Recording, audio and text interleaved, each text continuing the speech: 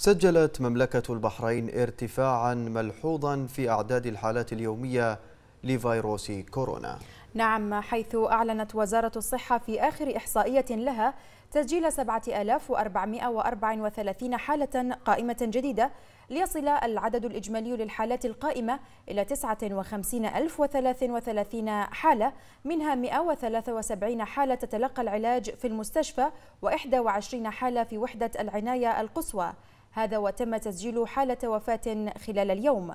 كما أعلنت وزارة الصحة تعافي 5917 حالة إضافية ليصل العدد الإجمالي للحالات المتعافية إلى 352 ألف حالة و928